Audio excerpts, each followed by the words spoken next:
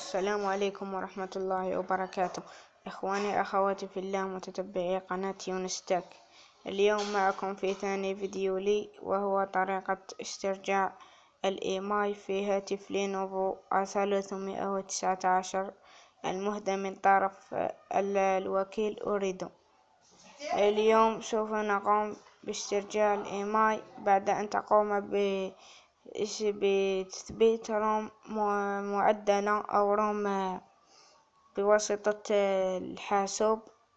سوف بعد أن تشغل الهاتف سوف تلاحظ أن ال carte SIM غير لا لا تعمل.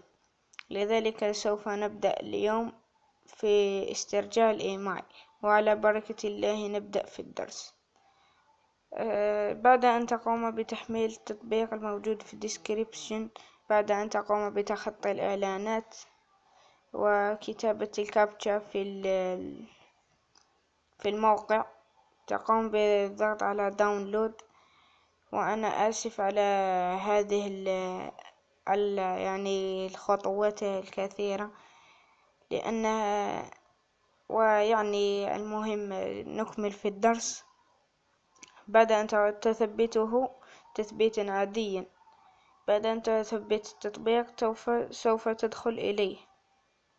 ها هو التطبيق. سوف تقوم بكتابة الإيمايل الأول والإيمايل الثاني. إن كنت تتوفر على علبة الهاتف. وإن كن بطريقة أسهل يعني تقوم ب بهنا تضغط على generate random emails. ثم تضغط على apply new email. بعد أن تقوم بالضغط على apply new email يقوم بحفظهم. ولكن يقول يجب سوف تطبق هذه الإعدادات بعد أن تقوم بإطفاء الجهاز أو نزع البطارية. لذلك سوف تقوم بنزع بطارية الهاتف وإعادة تشغيله وبعد أن تقوم بتشغيله سوف تلاحظ أن ال carte SIM تعمل وكل شيء عاد إلى طبيعته. وهذا هو درسنا اليوم.